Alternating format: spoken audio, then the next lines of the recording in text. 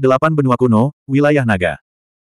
Kepala suku daun panjang tidak datang secara pribadi, tetapi mengirimkan anggota sukunya untuk melaporkan masalah ini kepada para naga. Lagi pula, di luar laut terlalu berbahaya. Di darat, kemampuan bertarung suku daun panjang bahkan tidak sebanding dengan suku jurang kegelapan, jadi sang patriark tidak bisa mengambil risiko. Setelah suku daun panjang meninggalkan laut, tidak cocok bagi mereka untuk bergerak dalam wujud aslinya. Oleh karena itu, langkah kedelapan suku daun panjang berubah menjadi manusia dan memasuki wilayah naga. Ketika para naga yang menjaga di luar mendengar tentang masalah yang berkaitan dengan Luan, mereka segera memberitahu delapan Raja Naga. Dengan izin dari delapan Raja Naga, langkah kedelapan suku daun panjang memasuki lapisan inti wilayah naga. Setelah melihat delapan Raja Naga, anggota suku daun panjang gemetar ketakutan dan mengulangi apa yang dikatakan sang patriark kepadanya. Dia mengatakan bahwa dia bertemu dengan manusia di dasar laut, di sebelah timur dataran api suci, dan menggambarkan tinggi badan dan karakteristik tubuh manusia tersebut. Namun, Patriark suku daun panjang tidak menyebutkan bahwa suku macan langit telah bertanya kepadanya tentang dataran api suci. Mendengar perkataan anggota suku daun panjang, delapan Raja Naga gemetar, wajah mereka penuh keheranan. Bahkan mereka tidak bisa menyelam ke dasar laut di kedalaman 30 ribu kaki, lalu bagaimana manusia ini melakukannya? Jika dia benar-benar mengandalkan kekuatannya untuk menahan tekanan air, seberapa kuatkah dia? Dilihat dari kekuatannya, mustahil dia menjadi Luan, namun dari gambaran tinggi dan bentuk tubuhnya, dia memang sangat mirip dengan Luan. Namun, ini hanya ciri-ciri bentuk tubuhnya.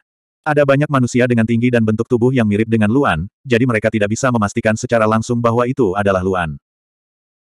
Ada kemungkinan lain, yaitu Luan menggunakan suatu metode khusus untuk menyelam ke dasar laut di kedalaman 30 ribu kaki. Jika itu masalahnya, maka pertanyaan kedua muncul. Mengapa dia menyelam begitu dalam ke laut? Dataran api suci. Delapan Raja Naga tidak pernah berhenti di tempat ini, mungkinkah itu ada hubungannya dengan dataran di dasar laut ini? Kamu baru saja mengatakan bahwa ada api yang menyala di dataran api suci ini. Raja Naga Langit terbakar bertanya, suaranya yang berat penuh keraguan. Iya. Anggota suku daun panjang buru-buru mengangguk dan berkata, meskipun saya belum pernah ke sana, dataran ini sudah ada sejak lama, dan selalu ada di sini. Mendengar jawaban tegas, kedelapan Raja Naga saling memandang. Nyala api yang bisa menyala di laut selama ribuan tahun, atau bahkan lebih lama, sungguh mengejutkan. Bahkan Raja Naga Langit terbakar dan Raja Naga Merah tidak akan mampu melakukan ini. Bertarung di laut bukanlah sesuatu yang bisa dilakukan oleh kedua Raja Naga ini. Untuk nyala api yang begitu kuat, satu-satunya hal yang terpikir olehnya adalah di dalam klan Hachiko, api klan. Atribut tertinggi yang sebenarnya. Namun, selain api klan mereka juga mengetahui bahwa Luan juga memiliki api yang sangat kuat, namun mereka tidak tahu dari mana asalnya. Mungkinkah api ini bukanlah api klan tapi sumber api yang dimiliki Luan? Nama sebenarnya dari api klan Chu adalah api Netherworld. Alasan kenapa disebut api dunia bawah adalah karena banyak zat berwarna merah dan hitam yang terkandung di dalam api tersebut. Itu adalah racun api, dan dataran ini disebut dataran api suci, yang juga merupakan api suci. Nama api yang dimiliki Luan tidak pernah bocor ke dunia luar. Mungkinkah ini api suci? Faktanya, selama ini, semua orang bertanya-tanya mengapa Luan memiliki api yang begitu kuat. Roda nasib Luan adalah es dalam. Dapat dimengerti bahwa dia memiliki immortal ki. Bagaimanapun, Sengoku memiliki kemampuan untuk menanamkan ki abadi ke dalam Luan. Tapi bagaimana dengan nyala api ini? Roda nasib dan roda api tidak bisa hidup berdampingan. Semua orang yakin akan hal ini. Mereka selalu mengira bahwa nyala api itu adalah milik duniawi yang diperoleh Luan. Jika dataran api suci terhubung ke titik ini, kemungkinannya akan meningkat pesat. Kemungkinan besar api yang selama ini digunakan Luan diperoleh dari dataran api suci.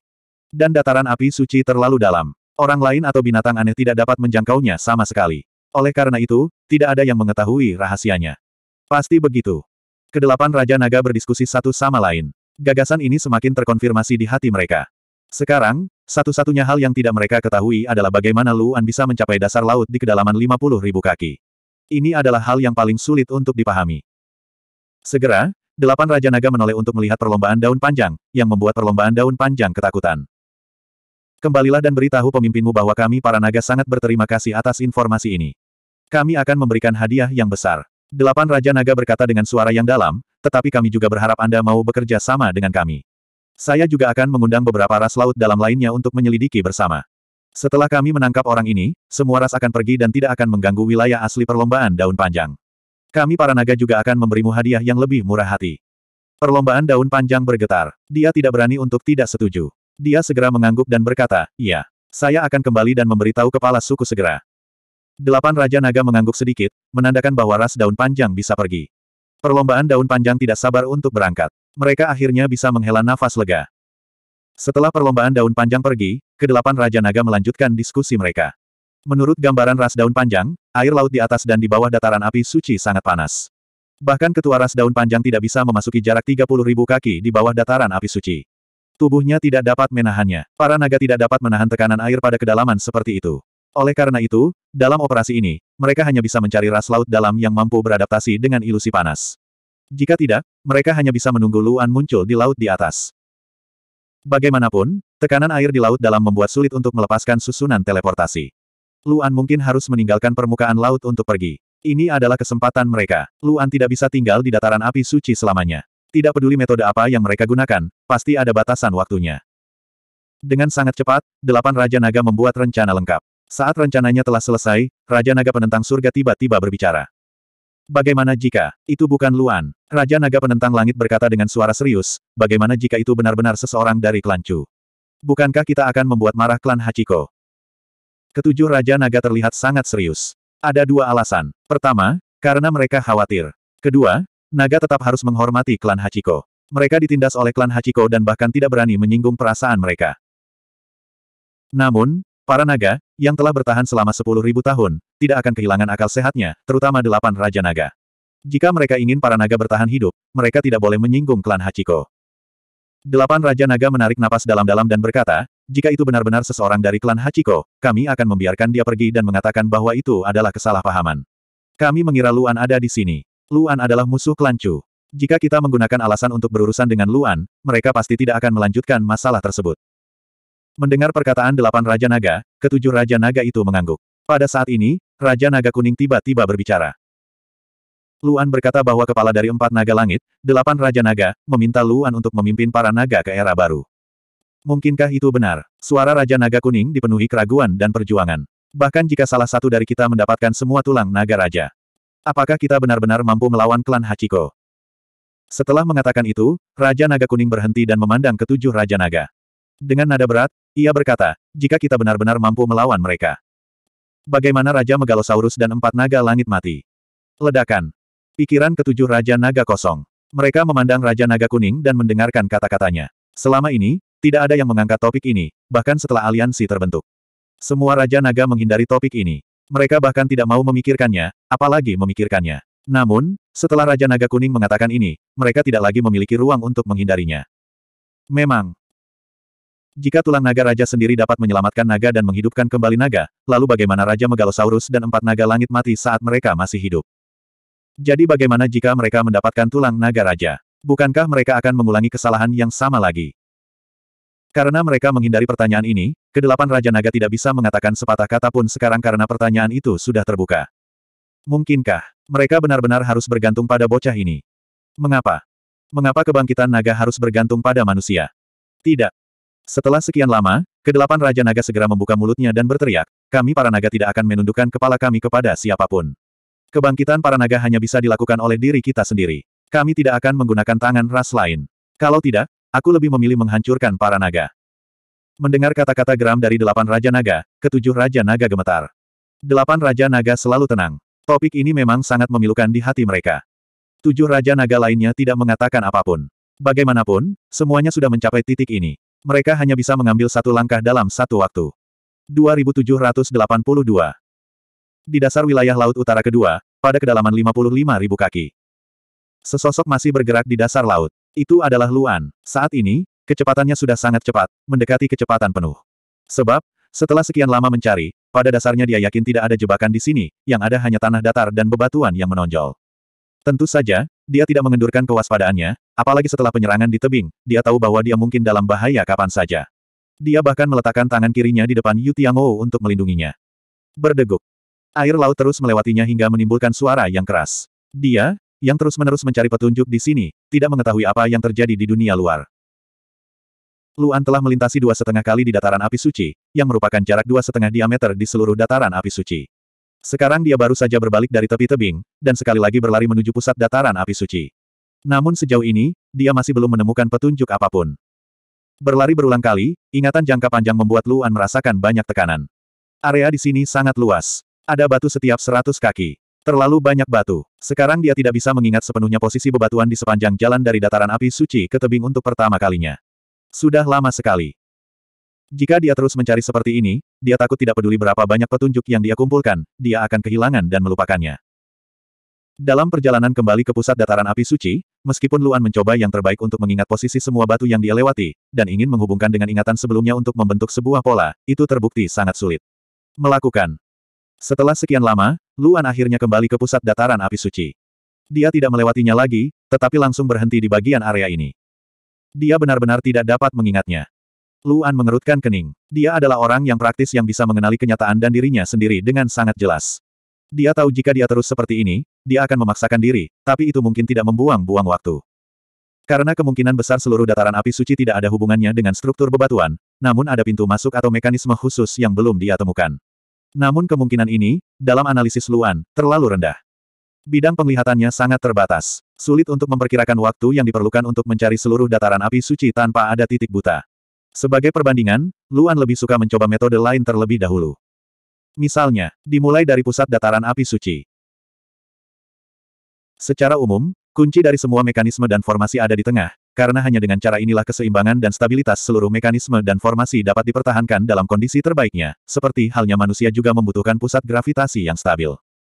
Dari ketiga putaran bola balik tersebut, susunan apinya semakin jarang, semakin dekat ke pusat, yang menandakan bahwa pusat seluruh area berada di tengah. Kemungkinan besar titik kuncinya ada di tengah. Dibandingkan dengan mencari di seluruh dataran api suci, mencari di seluruh area pusat akan memakan waktu lebih sedikit. Setelah mempertimbangkan, Luan Lu, Luan dari pusat dari pusat dari pusat. Maka, dia mulai bergerak di sekitar area tengah. Dia memiliki kemampuan untuk menghafal tata letak semua bebatuan di area tengah, termasuk tata letak apinya. Dengan sangat cepat, dia menghafal seluruh area tengah. Namun, area pusat aslinya terlalu kecil. Bahkan api besarnya hanya memiliki empat bola. Dia memutuskan untuk memperluasnya sedikit lebih jauh. Segera, jangkauan pencarian Luan diperluas menjadi 12 bola api. Setelah mencapai jarak ini, Luan segera berhenti mencari dan berdiri di tempatnya. Matanya serius saat dia mencoba yang terbaik untuk menarik semua batu dan api di area tengah yang besar ke dalam ruang tiga dimensi. Apakah ada polanya? Iya. Luan mengerutkan kening. Baik susunan api maupun susunan batuan mempunyai pola. Luan telah belajar tentang formasi dari suku Futeng dan suku Yansing. Formasi suku Futeng lebih mirip diagram ramalan di dunia sekuler, sedangkan diagram ramalan suku Yansing sangat berbeda dengan yang ada di dunia sekuler. Bahkan bisa dikatakan tidak ada kemiripan sama sekali. Jika dia membandingkan sebaran api dan batu. Luan merasa itu lebih terkait dengan formasi suku Futeng. Bentukan suku Yansing semuanya berhubungan dengan ruang, sedangkan bentukan suku Futeng semuanya bergantung pada keberadaan ruang nyata. Dilihat dari susunan api dan batunya, inti terpenting memang ada di tengah. Namun menurut distribusi spasial, bagian paling tengah adalah api merah besar. Ya, bagian tengahnya tertutup seluruhnya oleh api. Mungkinkah dia akan memasuki api? Luan semakin mengernyit. Dia kembali ke bagian paling tengah dari dataran api suci dan tiba di sana dengan sangat cepat. Itu persis sama dengan gambar tata ruang miliknya. Saat ini, ada api besar seratus kaki di depannya. Nyala api ini adalah yang terbesar di antara semua nyala api. Diameternya lebih dari 40 ribu kaki dan tinggi lebih dari 70 ribu kaki. Nyala api yang mengamuk terus-menerus mengirimkan sejumlah besar panas keluar. Luan, yang melindungi tangan kiri Yu Tiangu, terus mengeluarkan udara dingin untuk menahan panas. Pada jarak yang begitu dekat dengan api, udara dingin yang dikeluarkan oleh Luan hanya bisa melindungi Yu Tiangu. Itu tidak bisa melindunginya sama sekali. Dia benar-benar tertutupi oleh panas sekarang. Lagi pula, meski udara dingin bisa mengimbangi panas, ada perbedaan besar di antara keduanya. Pada jarak sedekat itu, panas yang terus-menerus dipancarkan bahkan menyebabkan tekanan besar pada Luan, yang sangat mengurangi kekuatan yang bisa dia keluarkan. Apakah dia benar-benar harus masuk? Dia ingin, tapi dia tidak berani. Dia takut nyala api akan membakar Yu Tiangu, dan jika dia melepaskan lapisan es pada Yu Tiangu, dia khawatir udara dingin akan membekukan Yu Tiangu dari dalam keluar, yang akan menyebabkan Yu Tiangu kehilangan efektivitasnya dan tidak dapat melakukannya. Menahan tekanan air untuknya. Namun, Luan melihat ke arah api besar yang menyala-nyala. Artinya panas di dalam nyala api cukup untuk mengimbangi tekanan air. Mungkin dia tidak membutuhkan kekuatan Yu Tiangu untuk melindungi dirinya setelah memasukinya. Tapi pertanyaan yang sama adalah, apakah akan ada tekanan yang kuat padanya dalam nyala api yang besar ini? Luan mengerutkan kening. Cahaya merah yang dipancarkan api besar menyinari wajahnya. Setelah berpikir sejenak, Luan menarik napas dalam-dalam dan mengepalkan tinjunya. Tidak ada gunanya hanya memikirkannya. Dia memutuskan untuk mencobanya. Setelah mempertimbangkan risiko memasuki dan mencari di seluruh dataran api suci, Luan membuat keputusan untuk masuk.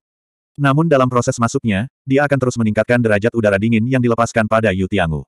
Dia bahkan mungkin menggunakan deep ice untuk membekukan Yu Tiangu setelah memasuki api. Dia tidak tahu apakah udara dingin akan merusak Yu Tiangu, tapi dia berpikir karena Yu Tiangu bisa melepaskan kekuatan yang begitu kuat, itu tidak akan rusak oleh udara dingin begitu cepat. Segera, Luan pindah. Dia, yang hanya berjarak seratus kaki dari api besar, tidak bergerak maju dengan cepat. Sebaliknya, dia mendekat dengan hati-hati selangkah demi selangkah. Lagi pula, mungkin ada hal penting lainnya di dalam nyala api. Dia tidak bisa gegabah. Saat dia bergerak maju, semakin banyak udara dingin yang dikeluarkan Luan, semakin dekat tangan kirinya ke Yu Tiangu. Tekanan yang dibentuk oleh panas di sekitarnya juga meningkat, tetapi bagi Luan, tekanan tersebut sepenuhnya berada dalam kisaran toleransi. Hanya kekuatannya yang terbatas, tapi itu tidak lebih rendah dari guru surgawi tingkat delapan. Mungkin panasnya sendiri berdampak pada air laut di sekitarnya. Air laut khusus yang suhunya sudah mencapai ekstrim tidak menghasilkan tekanan yang terlalu besar. Oleh karena itu, meskipun Luan telah menggunakan udara dingin untuk membatasi kekuatan yang dikeluarkan oleh Yu Tiangu, pertahanan di sekitarnya masih dalam jarak 3 meter. Jarak 100 kaki dengan cepat diperpendek bahkan dengan berjalan kaki. Segera, Luan hanya berjarak 100 kaki dari api. Luan tidak berhenti. Dia terus berjalan ke depan dan akhirnya berhenti di tepi api. Mata Luan sangat gelap. Nyala api berjarak kurang dari dua kaki dari wajahnya dan terus meningkat. Dia tidak langsung masuk. Sebaliknya, saat tangan kirinya terus-menerus mengeluarkan udara dingin, dia mengangkat tangan kanannya dan mengulurkannya ke arah api besar di depannya. Semakin dekat dan dekat. Semakin dekat dan dekat. Bang! Telapak tangan Luan menyentuh api. Dan salah satu telapak tangannya masuk sepenuhnya. Suhu yang mengerikan segera menyelimuti telapak tangannya, tetapi tidak menyebabkan kerusakan apa pun pada telapak tangannya. Namun, alis Luan langsung menegang. Menyentuh api dengan sungguh-sungguh membuatnya yakin sepenuhnya akan satu hal. Itu, ini memang api suci surga ke-9. Sama sekali tidak ada kesalahan. 2783. Itu benar-benar api suci surga ke-9. Luan memiliki pandangan yang mendalam di matanya. Api suci surga ke-9 yang begitu besar yang ada di ketinggian 55.000 kaki di bawah laut, kekuatannya yang sangat besar tidak dapat dibayangkan. Dia tidak tahu kekuatan macam apa yang dibutuhkan untuk membentuk api suci surga ke-9 yang begitu besar di dataran api suci, tapi itu jelas bukan sesuatu yang bisa dia bayangkan dengan kekuatannya saat ini. Namun, bahkan api suci surga ke-9 tidak dapat membahayakan Luan. Tidak hanya udara dingin yang dikeluarkan oleh tangan kirinya menjadi lebih kuat, bahkan menyebabkan lapisan es terbentuk di permukaan Yu Tiangou, bahkan seluruh tubuhnya tertutup lapisan es. Luan tidak mencoba yang lain. Sebaliknya, dia langsung melangkah ke api suci sembilan surga. Setelah itu, seluruh tubuhnya memasuki api suci sembilan surga. Ledakan. Api suci surga ke-9 menelan Luan sepenuhnya, menempel di dekat tubuhnya dan terbakar dengan ganas. Panas yang mengerikan segera menyelimuti seluruh tubuhnya. Setelah memasuki api suci surga ke-9, panas yang harus dia tanggung tidak ada bandingannya dengan dunia luar. Jika Luan tidak membentuk lapisan es tipis di sekujur tubuhnya terlebih dahulu, pakaiannya akan langsung menguap. Namun, yang mengejutkannya adalah Yu Tiangou, yang disegel oleh lapisan es tipis, tampaknya tidak terlalu terpengaruh. Itu masih membentuk ruang yang cukup besar untuk menopang lingkungan sekitarnya. Dukungan Yu Tiangou tidak hilang, itu sudah cukup untuk membuktikan bahwa api suci surga ke-9 juga memiliki tekanan yang sangat besar yang tidak dapat dia tanggung. Memikirkan hal ini, Luan langsung berkeringat dingin. Sepertinya penilaiannya barusan salah sepenuhnya. Jika Yu Tiangou kehilangan efeknya setelah disegel oleh es, dia pasti akan terbunuh oleh tekanan api suci surga ke-9. Namun, karena dia cukup beruntung untuk masuk, dia tidak akan memiliki rasa takut yang akan mengganggu konsentrasinya. Dia segera mulai bergerak ke dalam api suci surga ke-9. Dia masih harus bergerak selangkah demi selangkah untuk menjelajah, karena ada api di mana-mana di dalam api suci surga ke-9. Api merah yang kuat hampir sepenuhnya menghalangi pandangannya. Jarak yang bisa dilihatnya tidak lebih dari 3 inci. Setelah memasuki api suci surga ke-9, Luan hampir tidak bisa menggunakan penglihatannya, dan panas yang begitu kuat tidak dapat digunakan olehnya. Untungnya, dia masih memahami kekuatan ruang, dia masih bisa menggunakan persepsi spasialnya secara normal dalam radius satu sang. Gerakannya berada dalam garis lurus, karena dia ingin langsung menuju pusat api suci surga ke-9 yang besar. Sulit baginya untuk mengetahui apa pun hanya dengan menjelajah. Namun, setelah dia maju sejauh 200 kaki, dia menemukan bahwa tidak ada batu di dalam api. Tentu saja, mungkin karena dia beruntung belum pernah menemukannya, jadi dia tidak berani memastikannya. Diameter api suci sembilan surga lebih dari 40.000 kaki, yang berarti Luan harus maju 20.000 kaki untuk mencapai area inti. Setelah menjelajahi 2000 kaki pertama dan menemukan bahwa tidak ada bahaya, Luan mulai mempercepat kecepatannya.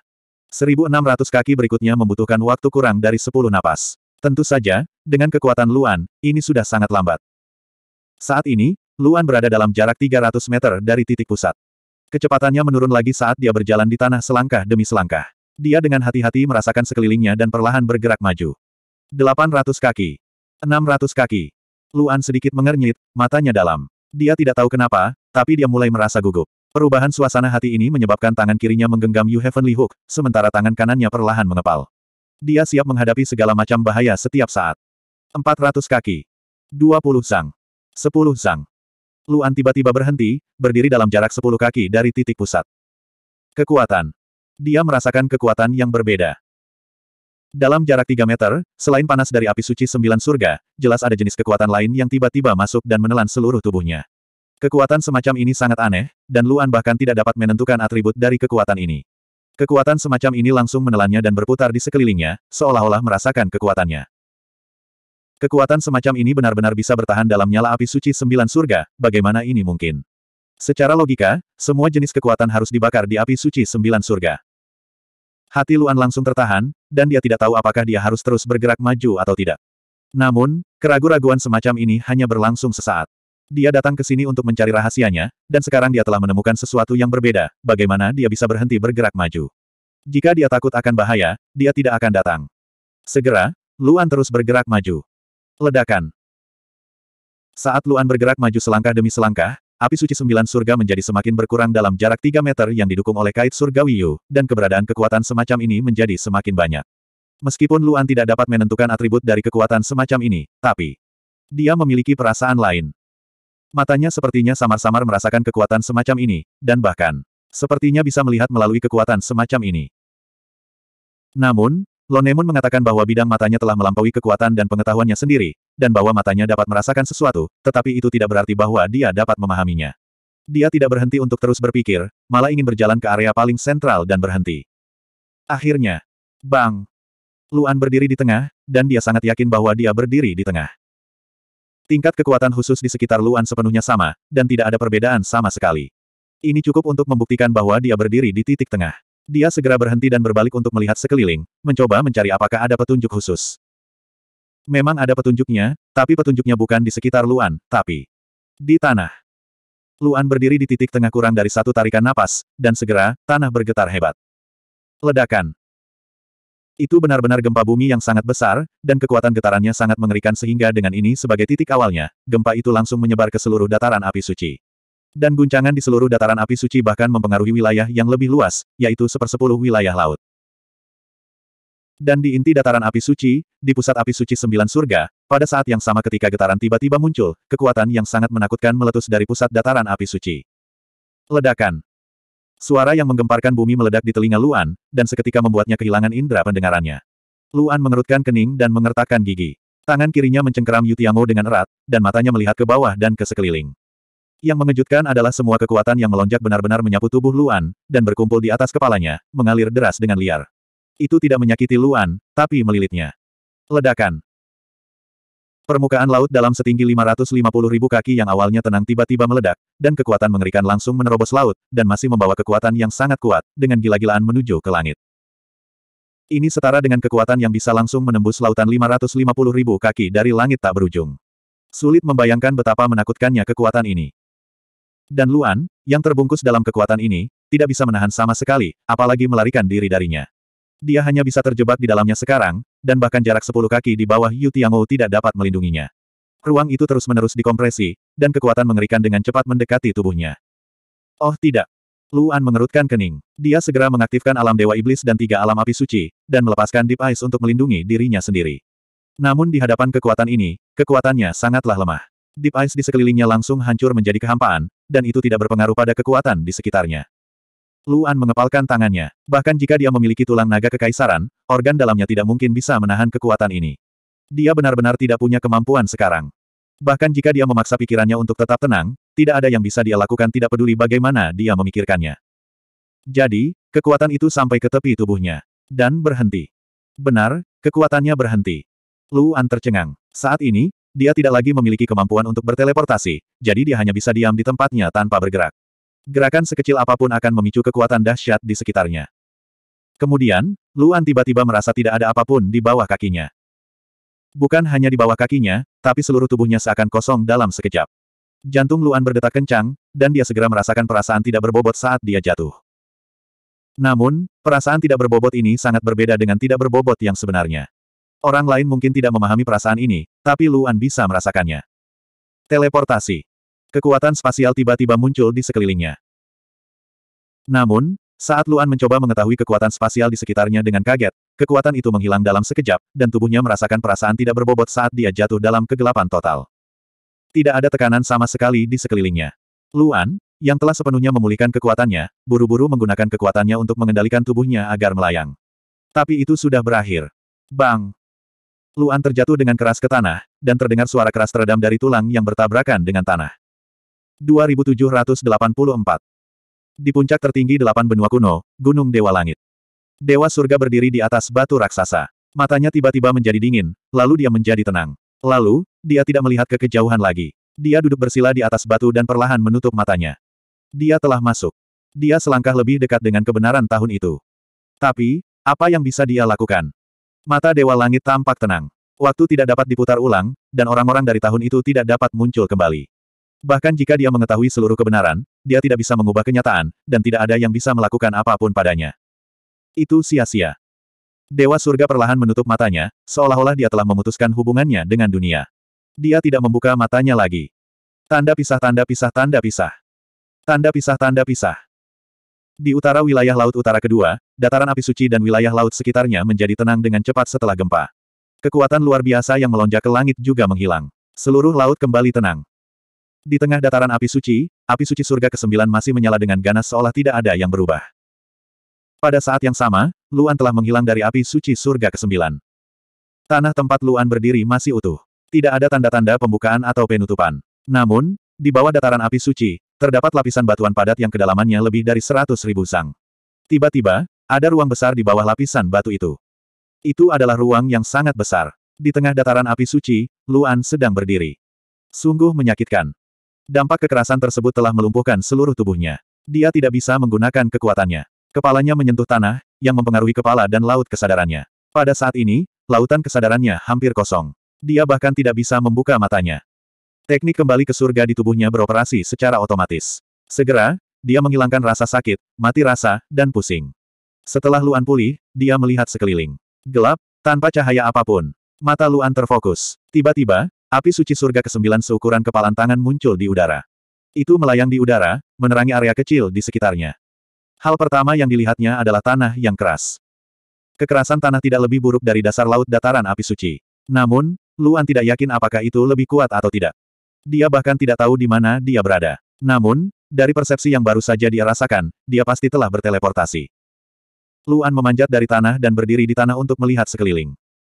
Kedua, dia dapat yakin bahwa ruang di sini tidak memberikan tekanan apa pun padanya, dan hal ini dapat dibuktikan oleh Yu Tiangou, yang tidak lagi mendukung ruang tersebut. Benar, Yu Tiangou sudah tutup. Ini berarti Yu Tiangou hanya dapat diaktifkan sekali lagi, dan saat diaktifkan lagi, ia hanya akan berhenti ketika seluruh kekuatannya telah dilepaskan. Dengan kata lain, Luan harus meninggalkan laut lain kali. Menurut rencana awal, Luan menahan Yu Tiangou di lingkaran spasialnya. Jika bukan karena cincin luar angkasa yang diberikan Semoku kepada Luan, bahkan cincin luar angkasa peringkat sembilan biasa pun tidak akan mampu menyimpannya. Luan tidak ingin Yu Tianhuk diaktifkan secara tidak sengaja karena tekanan mendadak lainnya. Kalau tidak, jika dia benar-benar masih di laut, dia tidak akan bisa keluar. Luan secara acak memilih arah dan bergerak maju. Api yang melayang di udara mengikutinya saat dia bergerak, menerangi area kecil di sekitarnya. Meskipun api menyinari area kecil, tidak ada tekanan di sekitarnya. Hal ini memungkinkan persepsi Luan pulih sepenuhnya dan mencakup area yang cukup luas. Namun, persepsinya hanya bisa menyentuh tanah. Ia bahkan tidak bisa menyentuh ujung ruang di sekelilingnya atau di atasnya. Artinya, ketinggian ruangan tersebut setidaknya 18.000 kaki, dan panjang area sekitarnya juga sama. Karena sangat kosong, dia mungkin juga membuat api suci surga ke-9 sedikit lebih besar. Mata Luan menyipit. Dia mengepalkan tangan kirinya. Saat dia membuka tangan kirinya, titik cahaya merah menyilaukan muncul. Di bawah dorongan Luan, ia dengan cepat terbang ke atas. Seiring bertambahnya ketinggian, ukuran titik cahaya juga terus bertambah. Ketika ketinggiannya mencapai 20.000 kaki, titik cahaya tersebut telah menjadi bola api besar dengan diameter lebih dari 20.000 kaki, seperti terik matahari. Titik lampu merah setinggi 20.000 kaki memancarkan kekuatan menyilaukan yang sangat besar yang menerangi jarak yang sangat jauh. Di bawah cahaya yang menyilaukan, Luan akhirnya melihat akhirnya. Ujung titik cahaya berada 30 ribu kaki di atas sembilan matahari-matahari yang terik. Dengan kata lain, ketinggian ruangan ini sebenarnya 30 ribu kaki. Begitu tinggi. Setelah berpikir sejenak, Luan segera terbang ke atas dan sampai di bawah tembok dengan kecepatan yang sangat cepat. Ia menyentuh lapisan batu tersebut dan menemukan bahwa lapisan batu tersebut juga keras. Itu bukanlah sesuatu yang bisa dia hancurkan dengan kekuatannya. Bagian atas dan bawah disegel. Jika dia ingin meninggalkan tempat ini, dia hanya bisa bergerak maju. Namun, karena dia sudah ada di sini, Luan tidak ingin pergi secepat itu. Mungkin dia telah melewati dataran api suci dan sampai pada arti Perdana Menteri Wei Ze. Apa pun yang terjadi, dia harus menjelajahi tempat ini. Luan melihat sekeliling. Dia tidak bisa membedakan arah di sini, jadi dia hanya bisa memilih arah untuk memulai. Setelah Luan menentukan pilihannya, dia segera bersiap untuk melangkah maju. Namun, ketika dia berada kurang dari seratus kaki jauhnya, dia tiba-tiba berhenti. Mata gelapnya langsung fokus. Dalam sekejap, seluruh tubuhnya memancarkan aura berat saat dia melihat lurus ke depan. Di ujung cahaya, sosok yang terlalu jauh untuk dilihat dengan jelas sedang berjalan selangkah demi selangkah. Bang! Bang! Bang! Saat jarak semakin dekat, suara langkah kaki sosok itu semakin nyaring. Ini adalah sosok humanoid. Namun, ketika memasuki jarak yang dapat dilihat dengan jelas oleh Luan, tubuh Luan bergetar hebat. Meskipun itu humanoid, itu bukan manusia. Itu adalah sebuah batu. Tubuh manusia seluruhnya terbuat dari batu. Namun, meski tubuhnya terbuat dari batu, gerakannya sangat halus, tidak berbeda dengan manusia. Mungkin karena batunya, meskipun Luan melepaskan persepsinya dengan seluruh kekuatannya dan menyelimuti sosok itu terlebih dahulu, dia tidak bisa merasakan aura apa pun dari pihak lain. Ada dua kemungkinan, entah kekuatan pihak lain jauh di atasnya, dan dia tidak memenuhi syarat untuk merasakan aura pihak lain. Atau pihak lain benar-benar tidak memiliki aura apa pun dan benar-benar merupakan batu yang kokoh. Luan tidak berani bertindak gegabah. Dia menarik napas dalam-dalam dan segera menangkupkan tangannya dan berkata dengan keras, saya Luan. Bolehkah saya tahu nama Anda? Suara Luan sangat keras. Jika menyebar jauh, pihak lain pasti bisa mendengarnya dengan jelas. Namun, manusia batu itu tidak merespon sama sekali, seolah-olah dia tidak mendengarnya sama sekali. Ia terus berjalan selangkah demi selangkah. Alis Luan berkerut, dan matanya yang gelap menjadi semakin dalam. Dia tidak tahu kenapa, tapi dia merasa bahaya sudah dekat. Dia memandang manusia batu yang berjalan ke arahnya selangkah demi selangkah. Meski tidak memiliki aura apa pun, jelas tidak ada kebaikan di matanya. Jaraknya 20 ribu kaki. Ledakan. Dalam sekejap, sosok manusia batu itu melesat dan tiba-tiba berakselerasi tanpa peringatan apa pun. Tubuh Luan bergetar hebat. Dengan sikap pihak lain, dia tidak bisa lagi memperlakukannya sebagai orang yang ramah. Dia harus segera mengatasinya. Segera, Luan meninju ke udara. Dalam sekejap, tinju berapi-api dengan diameter lima kaki melesat dan menyapu manusia batu di depannya. Namun, manusia batu itu tidak mengelak sama sekali. Sebaliknya, ia bergegas menuju tinju yang berapi-api. Kemudian, ledakan. Tinju api itu meledak, dan sosok manusia batu itu hanya terhenti sesaat. Kemudian, ia melaju ke depan lagi dengan kecepatan penuh. Entah itu tinju api atau api suci surga ke-9, itu tidak mempengaruhinya sama sekali. Mata Luan menjadi dingin. Dia melihat api suci surga ke-9 menyala di tubuh manusia batu, tetapi sebagian besar terguncang oleh kecepatan lari manusia batu. Sebagian kecilnya tidak membahayakan tubuh manusia batu itu. Kecepatan pembakarannya sangat lambat, seperti api suci surga ke-9 yang membakar tanah. Lebih penting lagi, kekuatan pertahanan manusia batu itu lebih penting. Kekuatan tinju api ini sudah menjadi kekuatan terkuat Luan sebelum dia menggunakan gerakannya, tapi manusia batu itu tidak terluka sama sekali. Kekuatan pertahanan manusia batu itu sangat kuat, tetapi kecepatannya terlihat jelas oleh Luan. Itu hanya sedikit lebih cepat dari kecepatannya sendiri. Kekuatan dan kecepatan pertahanan manusia batu itu benar-benar berbeda. Apa yang sedang terjadi? Namun, situasinya tidak membuat Luan berpikir terlalu banyak. Manusia batu itu bergegas menuju Luan dalam sekejap. Luan juga tidak mundur. 2785. Sepuluh kaki. Sepuluh kaki. Manusia batu tidak melancarkan serangan terlebih dahulu. Sebaliknya, dia bergegas ke depan Luan, mengacungkan tinjunya saat dia bergegas ke depan.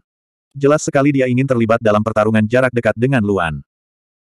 Dalam pertarungan jarak dekat, meski lawannya terbuat dari batu, Luan tidak akan pernah mundur. Menghadapi tinju lawan, Luan langsung memilih menghindar. Di saat yang sama, dia menurunkan pusat gravitasinya untuk menstabilkan tubuhnya. Ia maju selangkah dengan kaki kanannya, ingin menggunakan kaki kanannya untuk menghentikan gerakan lawan. Di saat yang sama, dia menyerang dengan kedua tangannya. Tangan kirinya menepuk bahu pria batu itu untuk menghindari benturan langsung. Tangan kanannya mengepal dan meninju langsung ke dada pria batu itu. Meskipun tidak mungkin seseorang yang terbuat dari batu memiliki titik akupuntur, bagaimanapun juga, kekuatannya harus dimulai dari pusat. Bang! Satu telapak tangan dan satu kepalan tangan, keduanya mengenai. Namun, hasilnya membuat Luan langsung mengernyit. Sangat sulit. Sangat kuat. Tangan kanan Luan langsung terasa sangat sakit. Bahkan seluruh lengan kanannya terasa mati rasa yang hebat, seolah-olah akan kehilangan semua perasaan dan lemas dalam sekejap. Untung saja tangan kirinya membentur sisi tulang rusuk manusia batu tersebut, berhasil menggeser pusat gravitasi lawan. Manusia batu itu langsung terlempar ke samping, dan kedua belah pihak segera terpisah. Darah segar mengalir deras dari tangan Luan. Hanya dengan satu pukulan, tangan kanan Luan hancur parah. Bahkan tulangnya pun terlihat. Luan mengertakkan gigi. Teknik kembali ke surga di tubuhnya otomatis diaktifkan untuk menyembuhkan lengan kanannya. Dia dengan cepat menghilangkan rasa mati rasa dan ingin mendapatkan kembali kendali atas lengan kanannya. Prosesnya sebenarnya sangat singkat, tapi masalahnya adalah manusia batu itu tidak memberi kesempatan sama sekali pada Luan. Memanfaatkan situasi untuk mengejar. Tubuh manusia batu itu sangat berat. Setelah dikirim terbang kurang dari 20 kaki oleh telapak tangan Luan, ia menginjak tanah dengan seluruh kekuatannya dan dengan paksa mengubah arahnya untuk menyerang Luan lagi. Melihat musuh menyerangnya dengan kecepatan penuh, mata gelap Luan menjadi dingin. Segera, cahaya merah darah muncul dari matanya. Kekuatannya meroket, dan kecepatannya langsung mencapai level yang sama dengan manusia batu. Namun, lengan kanannya masih mati rasa dan belum pulih. Lebih penting lagi, melalui kontak instan tadi, Luan sudah memahami bahwa kekuatan manusia batu itu pasti tidak kalah dengan miliknya. Kekuatan pertahanannya jauh melebihi kekuatan ofensifnya. Dengan kata lain, tidak peduli bagaimana dia menyerang, manusia batu itu tidak akan terluka. Seseorang yang terbuat dari batu tidak memiliki kelemahan sama sekali. Bagaimana dia bisa bertarung? Untuk pertama kalinya, Luan merasa tidak berdaya dalam pertarungan jarak dekat. Sebelum dia bisa memikirkan solusinya, dia hanya bisa melarikan diri. Bang! Ketika manusia batu itu tiba di depan Luan, dia mengepalkan tangan kanan dan kaki kirinya satu demi satu. Tinjunya adalah pukulan lurus, tetapi sapuannya adalah sapuan horizontal. Sasaran penyisirannya bukanlah tulang rusuk Luan, melainkan betisnya. Jika kaki Luan, kaki Lu, kaki Lu, Lu, Lu, Lu, Lu. Tangan kanannya tidak berdaya, dan kecepatan lawan lebih cepat darinya. Luan harus menerima serangan lawan terlebih dahulu sebelum dia bisa menarik diri.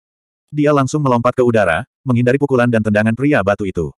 Pada saat yang sama, kaki kirinya menyapu lengan kanan pria batu itu, dan kaki kanannya menendang ke arah wajah pria batu itu. Gerakan Luan dimulai dengan sangat lambat. Ini bukan karena dia tidak bisa bereaksi tepat waktu. Faktanya, yang terjadi justru sebaliknya. Ia melakukan gerakannya di saat-saat terakhir, sehingga lawan tidak bisa mengikuti gerakannya. Biarpun lawan bisa melihat tubuhnya dengan jelas, dia tidak bisa mengikutinya. Ide Luan sepenuhnya benar. Ia bahkan bisa menggunakan tendangan tersebut untuk menendang wajah lawan agar menjauh lebih cepat. Alasan dia menendang wajah lawan adalah karena jika dia menendang bagian dada, lengan kiri lawan yang berada di bawah pusat gravitasi kemungkinan besar akan mengangkat tangannya untuk menarik tubuhnya ke belakang. Namun, jika dia menendang wajah lawannya, masalah ini pasti tidak akan terjadi. Namun, ada masalah lain. Kaki kanan Luan langsung mengarah ke wajah manusia batu itu. Manusia batu itu tidak hanya tidak mengelak, tapi dia juga menggunakan seluruh kekuatannya untuk membanting kepalanya ke kaki Luan. Bang! Segera, Luan merasa kaki kanannya kehilangan rasa. Yang tersisa hanyalah mati rasa yang hebat.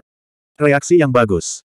Mata Luan menyipit. Lautan kesadarannya tidak bergetar karena rasa sakit di kaki kanannya. Dia hanya yakin itu fakta, jadi dia tidak mengubah rencananya. Ia meminjam kekuatan yang diberikan lawannya untuk terbang dengan cepat, dan tendangan ini berhasil menghentikan kejaran lawannya. Suara mendesing. Luan tidak terbang ke tanah di belakangnya.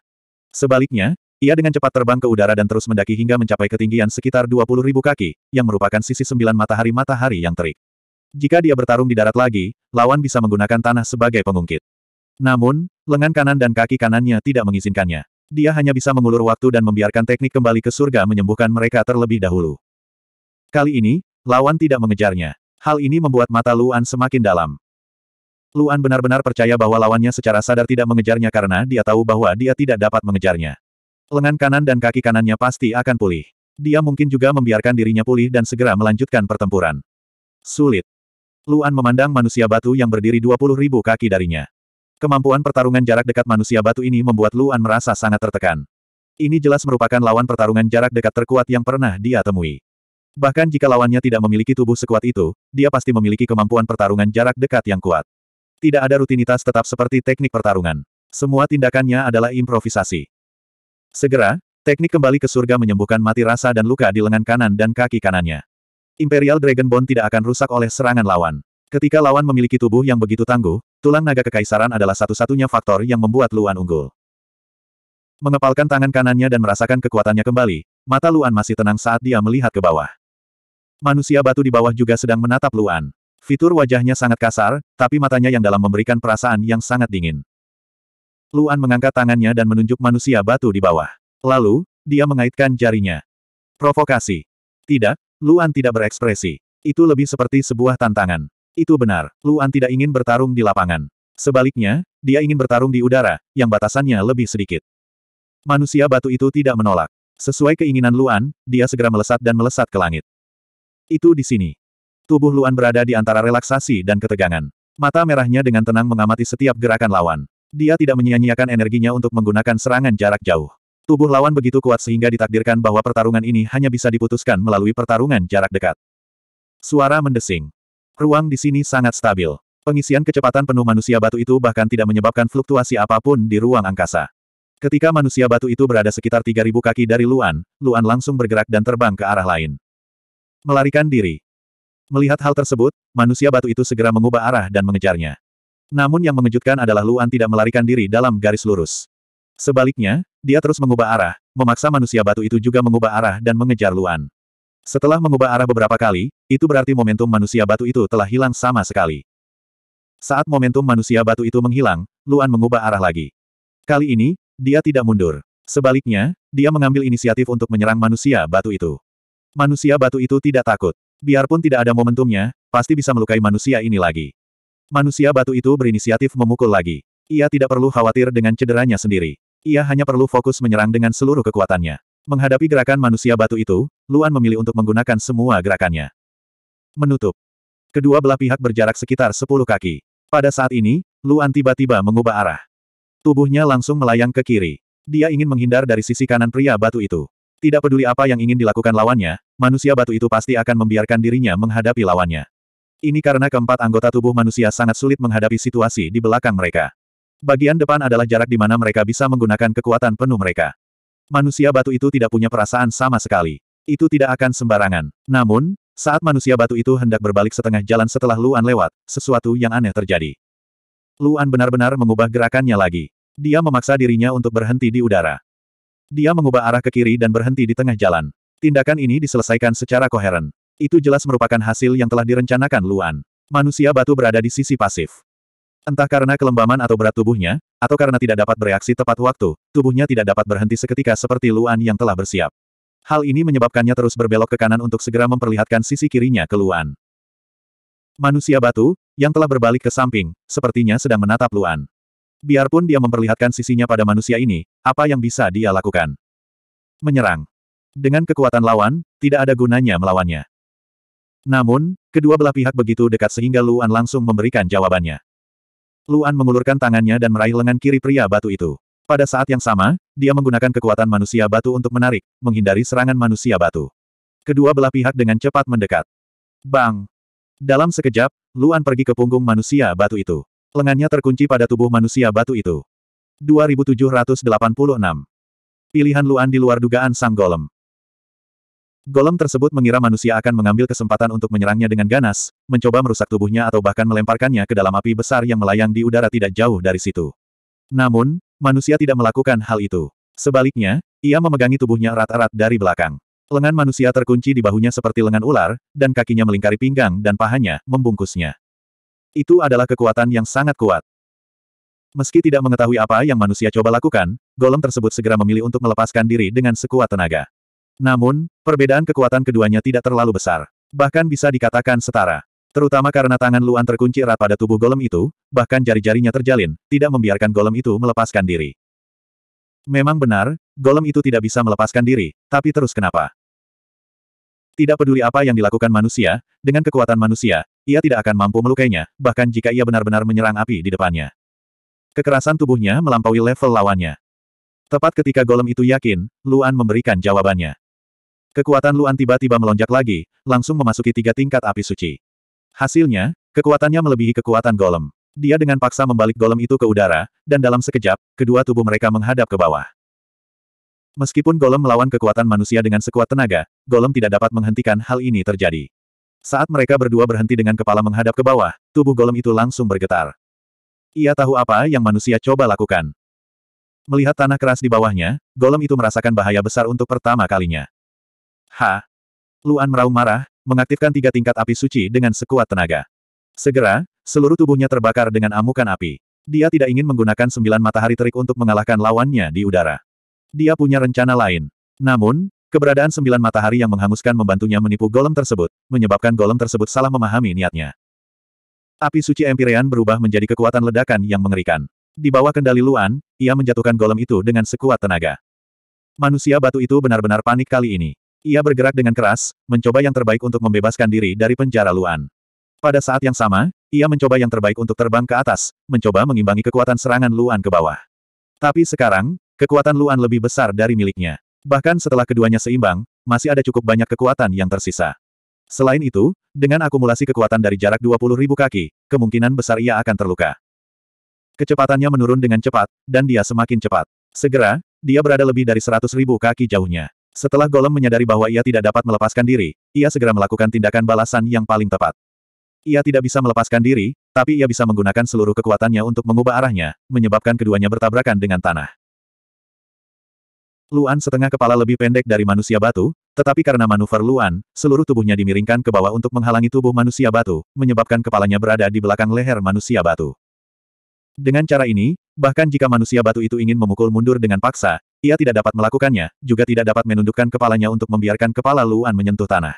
Dengan cara ini, manusia batu harus membalikkan tubuhnya agar punggung Luan menyentuh tanah. Namun, bagaimana mungkin Luan tidak mengetahui bahwa manusia batu itu mengetahui hal ini? Manusia batu itu meronta dengan keras, tapi Luan mencengkeramnya dengan kuat. Keduanya bertarung sekuat tenaga di udara. Namun, ketika manusia batu itu mulai menahan serangan Luan dengan sekuat tenaga, itu berarti momentum kenaikannya langsung menghilang. Segera, keduanya mempercepat dan menyerang ke bawah dengan kecepatan penuh. Luan tidak membatalkan momentum penurunannya, sehingga tubuhnya terbalik dalam sekejap. Namun, mata Luan tidak menunjukkan tanda-tanda panik. Dia masih sangat tenang. Keduanya turun dengan cepat. Ketika mereka hanya berjarak 10.000 kaki dari tanah, Luan segera membatalkan momentum penurunannya dan melawan manusia batu itu dengan sekuat tenaga. Pada saat ini, keduanya sedang menyerang ke bawah dengan kecepatan yang cukup cepat. Luan, yang telah mengaktifkan tiga alam api suci, lebih kuat dari manusia batu. Dengan keunggulan dalam hal kekuatan, dia masih bisa tiba tepat waktu untuk mengubah arah. Dia menarik dengan seluruh kekuatannya. Segera, tubuh Luan, yang semula menghadap ke bawah, berubah menjadi dua kepala menghadap ke bawah. Tidak hanya itu, demi alasan keamanan, Luan membuat tubuh manusia batu itu sedikit bergeser, memastikan sebagian bagian depannya menghadap ke tanah. Dengan begitu, meskipun manusia batu itu tiba-tiba ingin bersandar, ia tidak akan mampu melakukannya. Setelah tumbukan, dia bisa menggunakan manusia batu sebagai bantalan untuk mencegah tubuhnya menyentuh tanah karena kelembaman. Ketika kedua tubuh mereka terbalik, jaraknya kurang dari 10.000 kaki dari tanah. 5.000 kaki. 1.000 kaki. 10 kaki. Ledakan. Tiba-tiba, suara yang sangat keras dan membosankan terdengar di udara. Setelah kepala manusia batu itu menyentuh tanah, seluruh tubuhnya langsung menempel ke tanah. Luan, yang memegang erat manusia batu itu, dengan paksa melepaskan diri dari kendali manusia batu itu dalam jarak seratus kaki terakhir. Sementara dia mendorong manusia batu itu ke bawah dengan sekuat tenaga, dia mempersiapkan tubuhnya untuk menahan dampaknya. Bang! Setelah suara tumpul yang keras, terdengar suara benturan yang lebih tumpul lagi, namun jauh lebih lembut dari suara sebelumnya. Luan, yang menahan benturan ke samping, langsung terlempar ke satu sisi, menempel dekat ke tanah. Dia terbanting keras ke tanah dan meluncur terus-menerus. Tubuhnya terbang sejauh 4.000 kaki dan berguling terus-menerus sebelum berhenti. Karena tanahnya kasar, ada banyak luka di tubuhnya, dan darah mengalir keluar. Nyeri. Meskipun dia telah menahan dampaknya, Luan masih pingsan karena dampaknya dan jatuh ke tanah. Teknik kembali ke surga di tubuhnya diaktifkan kembali.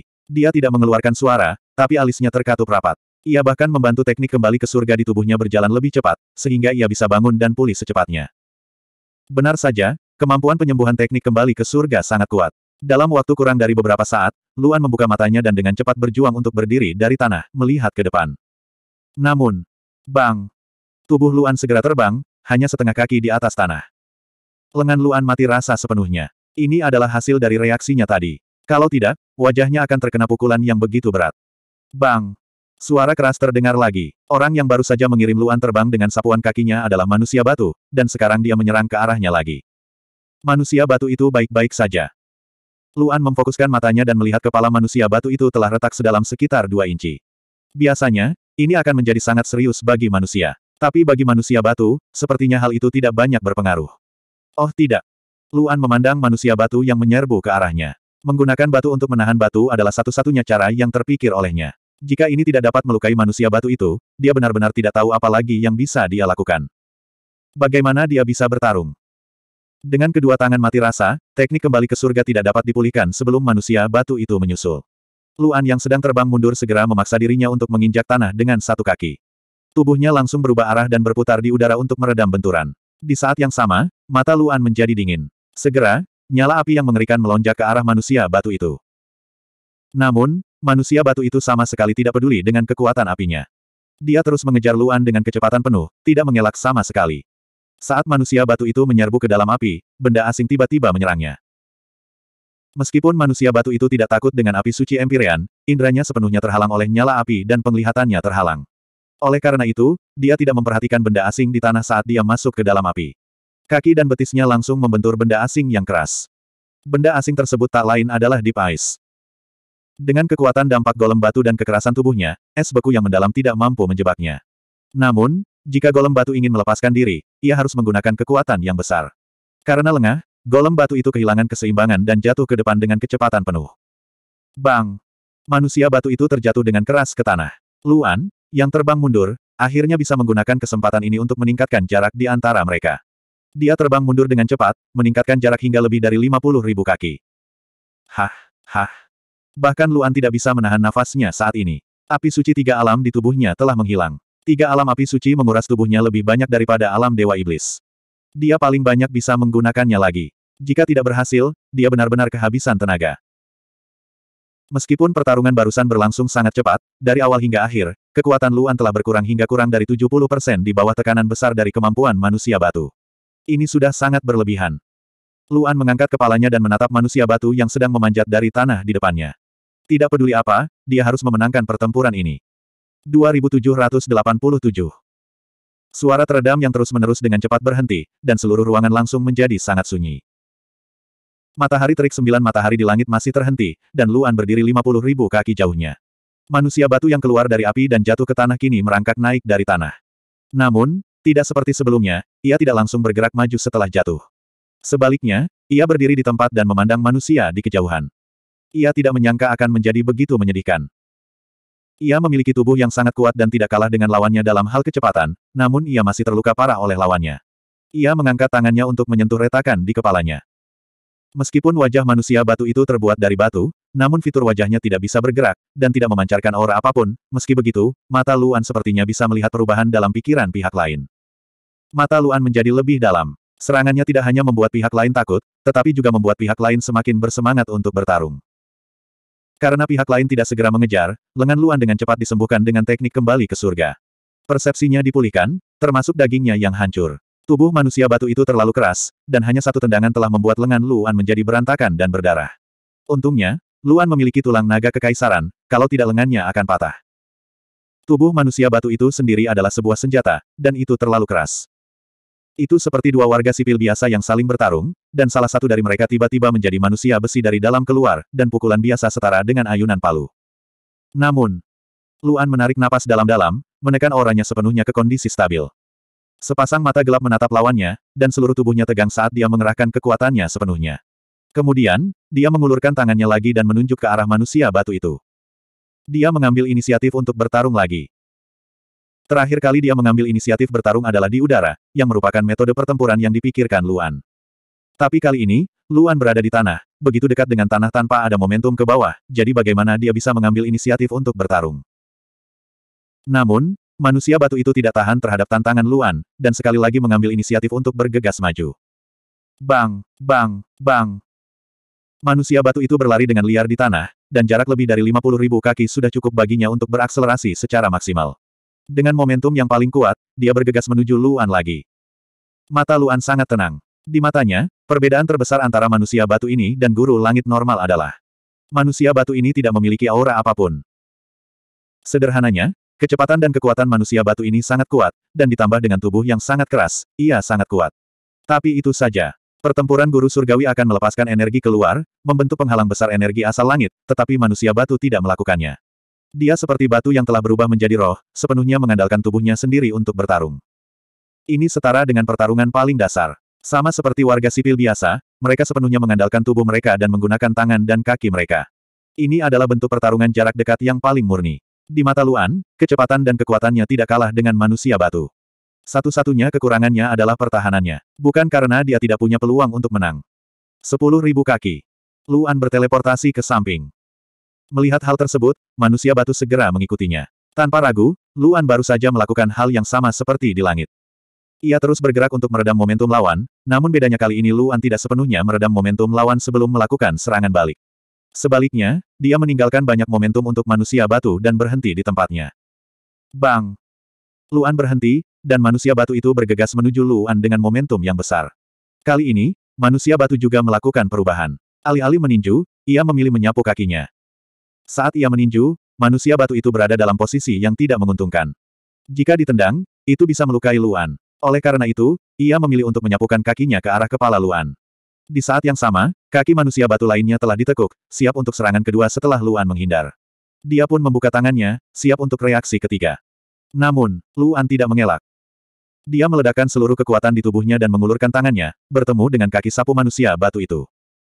Temui secara langsung. Manusia batu itu terkejut. Manusia ini telah memilih cara paling bodoh untuk menghadapinya. Karena itu masalahnya, ia tidak keberatan mematahkan lengan manusia itu lagi. Kekuatan kaki penyapu manusia batu meningkat lagi, memusatkan seluruh kekuatannya pada kaki penyapu. Dan Luan tidak bisa mengelak lagi, jadi dia hanya bisa menghadapinya secara langsung. Benar, Luan memang memilih untuk menghadapinya secara langsung. Namun, Metodenya benar-benar berlawanan dengan apa yang dipikirkan manusia batu, dan tidak, langsung, sama sekali. Tubuh Luan tiba-tiba bersandar. Saat dia menghindari sapuan lawan secara langsung, dia mengangkat tangannya yang penuh kekuatan, mengikuti sapuan lawan sepenuhnya untuk meraih pergelangan kaki pria batu itu. Meskipun arah kekuatannya mirip dengan lawan, perbedaan yang tampaknya tidak signifikan inilah yang mewakili pemikiran Luan dalam pertempuran yang akan datang. Luan menggunakan seluruh kekuatannya, bersandar ke belakang dengan seluruh kekuatannya, menarik pergelangan kaki pria batu itu dengan seluruh kekuatannya. Meminjam momentum manusia batu itu, dia menggambar busur di udara dan menariknya ke bawah dengan seluruh kekuatannya. Suara mendesing. Manusia batu itu tiba-tiba ditarik dan terbang ke belakang Luan. Namun, itu tidak sejajar dengan tanah, tapi pada sudut yang sangat jelas. Luan langsung melepaskannya. Kita harus tahu bahwa kekuatan manusia batu itu telah mencapai batasnya. Yang disebut batas adalah batas kendali. Setelah Luan meningkatkan kekuatannya, manusia batu itu tidak bisa lagi mengendalikan tubuhnya di udara. Ia hanya bisa berputar seperti pusaran air dan menghantam tanah sejauh lima kaki. Bang! Tubuh manusia batu itu terjatuh dengan keras ke tanah. Luan menamparkan tanah dengan tangan kirinya, segera menstabilkan tubuhnya dan dengan cepat mengejar manusia batu yang berguling-guling di tanah. Manusia batu itu tidak merasakan sakit. Ia berjuang untuk mendapatkan kembali keseimbangannya sambil berguling-guling di tanah dan segera bangkit untuk menghadapi serangan Luan. Ini pertama kalinya lawan mengambil inisiatif menyerang. Dari penampilan manusia ini, dia tidak akan melakukan apa pun yang dia tidak yakini. Manusia batu tidak perlu bertahan, jadi dia hanya perlu menyerang. Menggunakan serangan sebagai pertahanan, dia segera mengayunkan tangan kanannya ke arah Luan dengan seluruh kekuatannya. Menghadapi manusia batu yang baru saja bangun dan masih memiliki celah besar, Luan tidak memilih untuk menyerang tubuh lawannya. Sebaliknya, ia memilih menerima gerakan lawan. Dengan cara ini, rasanya seperti bergegas ke depanmu dan membiarkanmu memukulku terlebih dahulu. Karena manusia batu itu baru saja bangun dan mengayunkan tinjunya dengan tergesa-gesa, meski kekuatannya kuat, namun arah pukulannya tidak rumit. Langkah kaki Luan berhenti dan menghindar, tapi dia masih mengulurkan kedua tangannya. Kedua tangan dipenuhi kekuatan. Salah satu dari mereka meraih bagian dalam lengan kanan manusia batu, sementara tangan lainnya mengikuti arah pukulan dan menamparkan lengan bawah manusia batu dari luar. Serangan semacam ini tidak dapat menyebabkan kerusakan apa pun pada lengan manusia batu itu. Sebaliknya, itu membuat pukulannya lebih kuat. Tapi masalahnya adalah tangan yang menghalangi bagian dalam lengan atas menekuk sikunya. Karena lengan atas terlalu dekat dengan bahu, kekuatan lengan bawah jauh lebih lemah dibandingkan lengan bawah. Ini adalah prinsip yang sangat sederhana. Dalam sekejap, lengannya tertekuk. Dan mengenai wajah pria batu itu dengan seluruh kekuatannya. Semuanya terjadi terlalu cepat. Manusia batu itu bahkan tidak sempat bereaksi. Pukulan berat itu mendarat di wajahnya. Bang! Seluruh tubuh manusia batu itu segera bersandar ke belakang. Tubuhnya kehilangan keseimbangan dan terjatuh ke belakang. Pada saat ini, langkah kaki Luan telah bergerak maju dan berhenti di kaki manusia batu itu.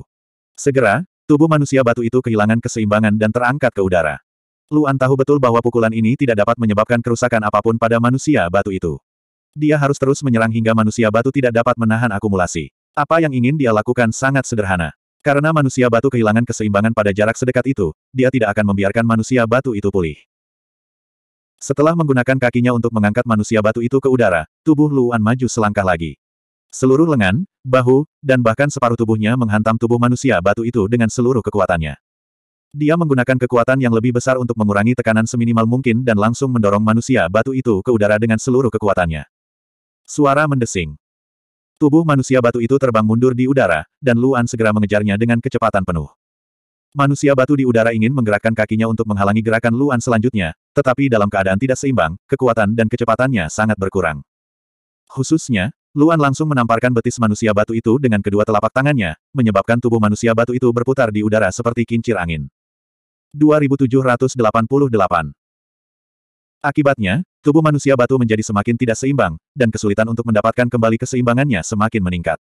Saat kincir angin menyelesaikan satu putaran, Luan tiba-tiba menamparkan punggung manusia batu itu. Dia menggunakan seluruh kekuatannya dalam tamparan ini, mengikuti kekuatan rotasi pihak lain, tetapi itu juga membawa kekuatan ke bawah, menyebabkan tubuh manusia batu yang berputar itu tiba-tiba jatuh dari tanah, dan kepalanya menghantam tanah.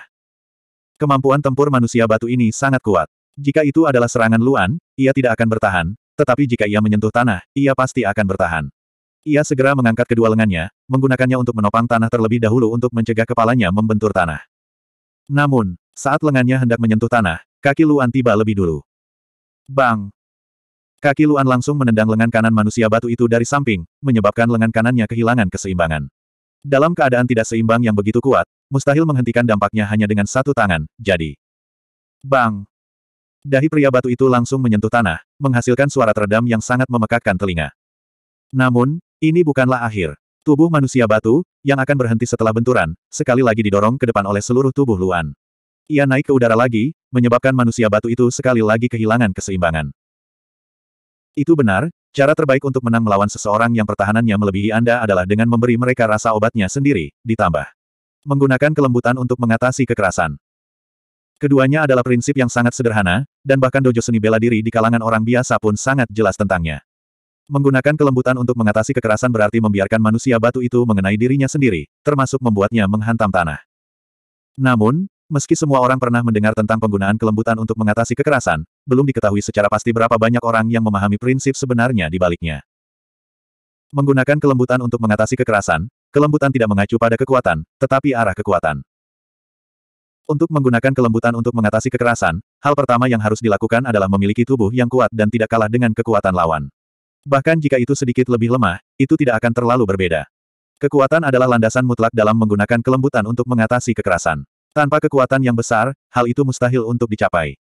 Inti dari kelembutan adalah menggunakan kekuatan yang kuat untuk mengalihkan dan meminjam kekuatan. Sederhananya, ini bukan menyerang secara langsung, tapi meminjam kekuatan untuk melawan kekuatan. Itu semacam konsep pertarungan. Manusia batu ini tidak diragukan lagi adalah perwujudan kekuatan. Jika mereka bersaing dalam kekuatan, Luan pasti bukan tandingannya. Menggunakan kelembutan untuk mengatasi kekuatan sebagian besar dilakukan oleh pihak yang dirugikan, dan persyaratan untuk pertempuran sangat tinggi. Tukang batu itu sekarang berada dalam situasi yang sangat sulit. Setelah didorong ke udara oleh Luan lagi, setiap kali ia ingin menyesuaikan tubuhnya untuk mendapatkan kembali keseimbangannya di udara, ia akan diserang oleh Luan. Bahkan manusia ini merasa mengetahui titik gaya dan pusat gravitasi lebih baik daripada dirinya. Setiap kali ia mengerahkan tenaga, ia akan merasa semakin tidak nyaman, dan setelah ketidaknyamanan tersebut, kepalanya akan menyentuh tanah, dan siklus tersebut akan berulang. Bang! Kepala manusia batu itu sudah menyentuh tanah empat kali berturut-turut, menghasilkan bunyi gedebuk. Namun, mata Luan tidak rileks sama sekali. Dia tahu betul bahwa meskipun dia memukul manusia batu itu empat kali berturut-turut, dia tidak akan dapat menyebabkan kerusakan yang berarti. Belum lagi empat pukulan, bahkan jika dia memukulnya empat belas kali berturut-turut, itu tidak akan bisa dibandingkan dengan kerusakan yang diakibatkan oleh jatuh dari ketinggian puluh ribu kaki.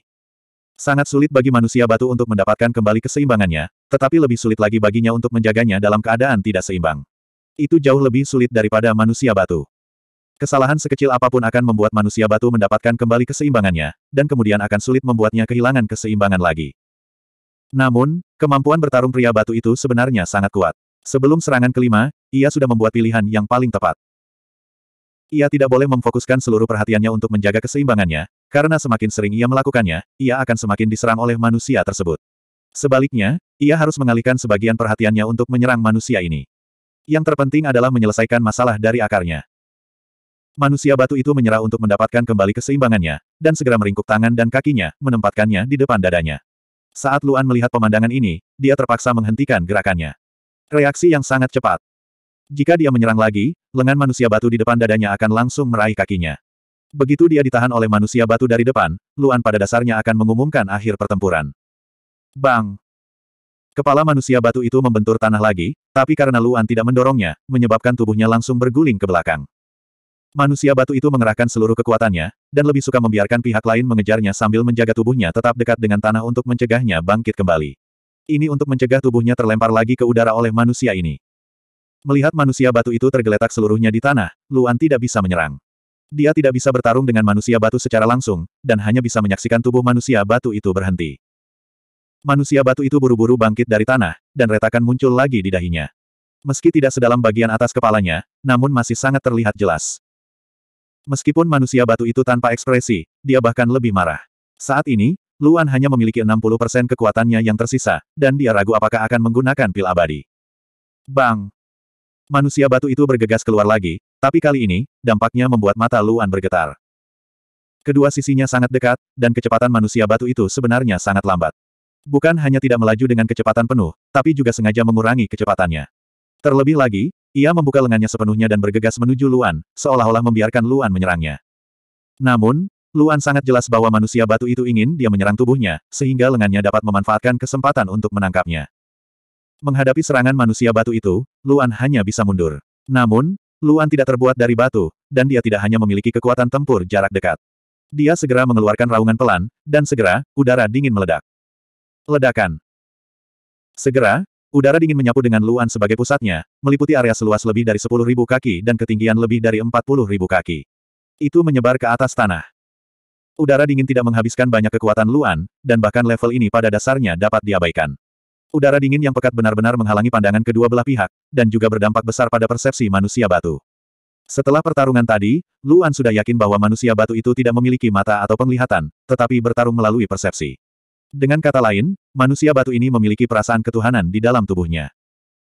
Benar saja, gerakan menyerang manusia batu itu segera berhenti. Berdiri di tengah kabut es, ia terus berbalik dan melihat ke segala arah, kehilangan kuncinya pada Luan.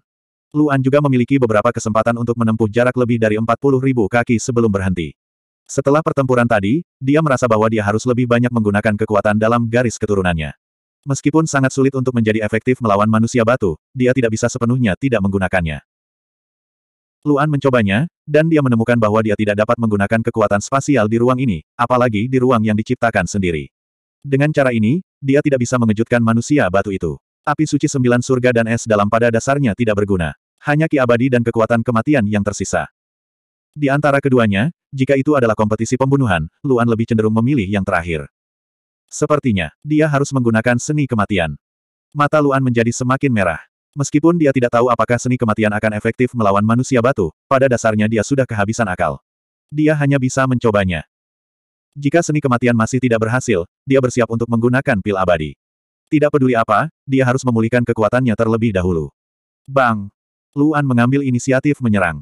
Meskipun kabut dapat menghalangi penglihatannya, hal itu tidak mempengaruhi persepsinya. Dia sangat jelas tentang posisi manusia batu itu, dan langsung berada dalam jarak 300 kaki. Setelah sampai dalam jarak ini, manusia batu itu dapat dengan jelas merasakan kehadiran Luan. Luan dengan cepat menutup jarak. Manusia batu itu dengan cepat berbalik menghadap Luan, dan seperti sebelumnya, dia membuka tangannya dan bergegas menuju Luan. Tujuannya adalah untuk menangkap Luan. Luan tidak mengelak, tapi memilih untuk menyerang dengan kecepatan penuh. Karena manusia batu itu terbuka untuk dia serang, dia pasti akan menggunakan serangan terkuatnya. Suara mendesing.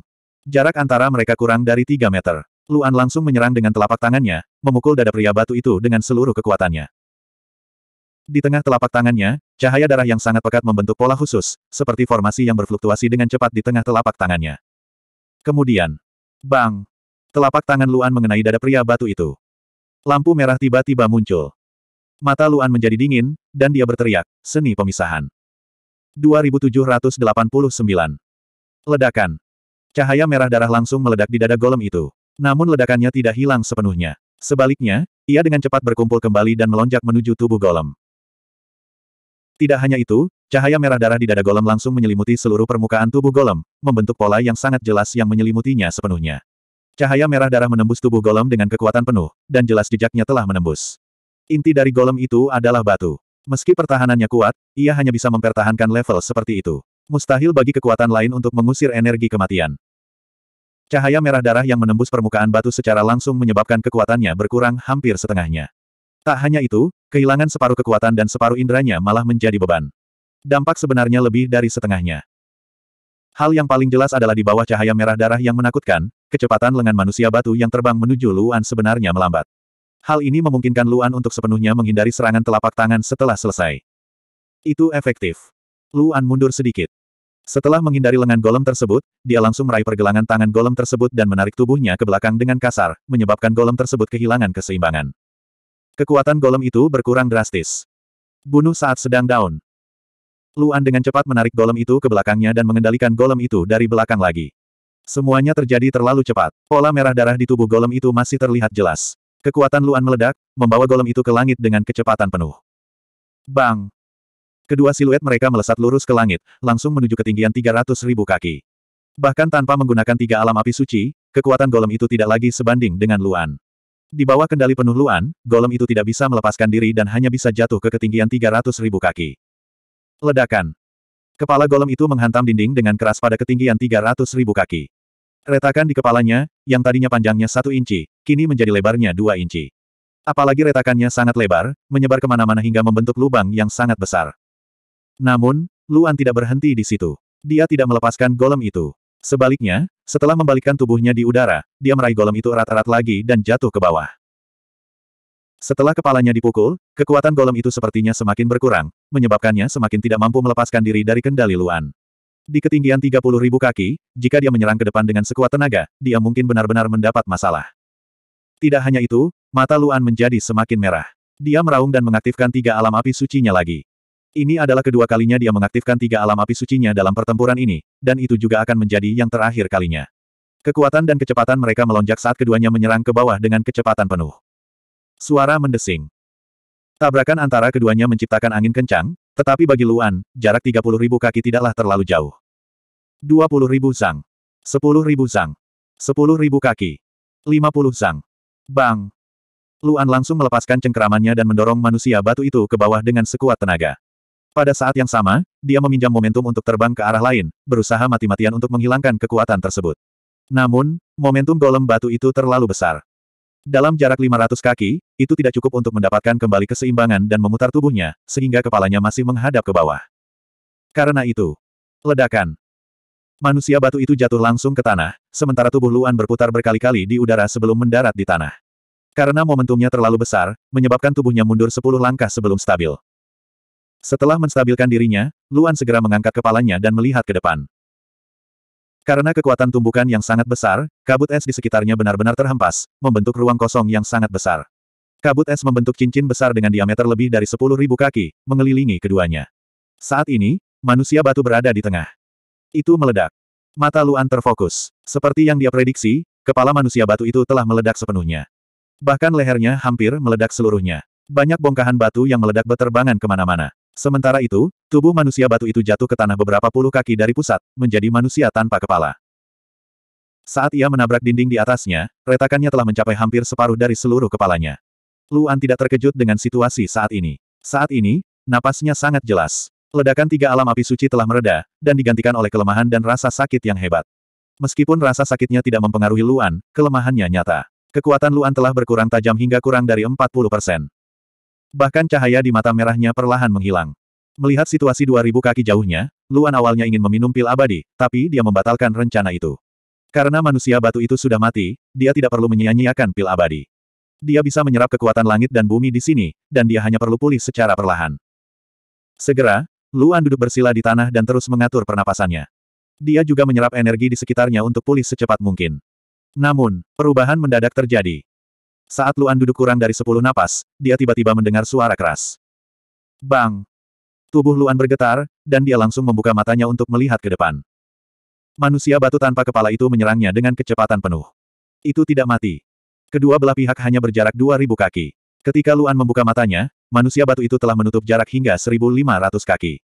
Itu sangat cepat sehingga Luan bahkan tidak punya waktu untuk mengeluarkan pil abadi untuk dikonsumsi. Luan segera berhenti istirahat. Dia membanting telapak tangannya ke tanah, dan tubuhnya yang bersila langsung terbalik ke belakang. Selagi kakinya di tanah, tangannya siap menghadapi musuh. Kali ini, manusia batu tidak membuka tangannya untuk meraih Luan seperti sebelumnya. Sebaliknya, ia melancarkan serangan sengit seolah-olah ia benar-benar marah. Dalam pertempuran sebelumnya, manusia batu itu sangat tenang.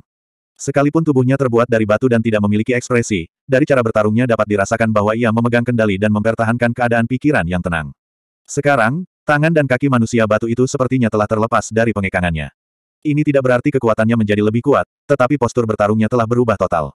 Ia menjadi sangat ganas dan ganas, seolah-olah ia telah menjadi orang yang sama sekali berbeda. Mata Luan tenang. Faktanya, dia telah memperhatikan bahwa gerakan manusia batu itu agak ragu-ragu.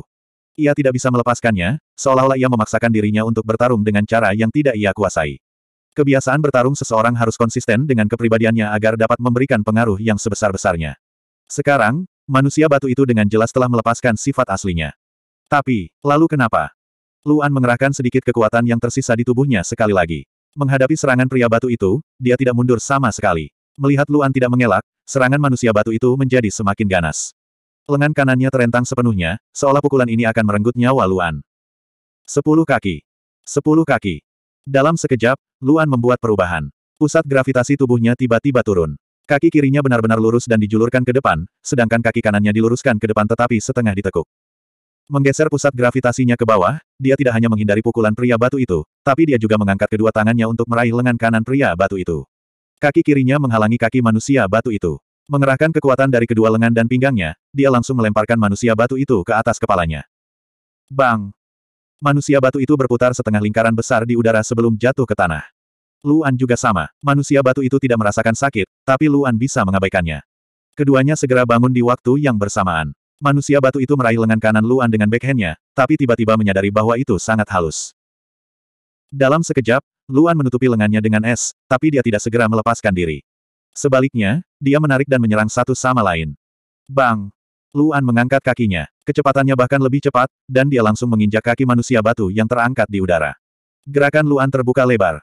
Dia sekali lagi menarik tubuh manusia batu itu dengan seluruh kekuatannya, dan dia berinisiatif mundur, memaksa tubuh manusia batu itu kehilangan keseimbangan.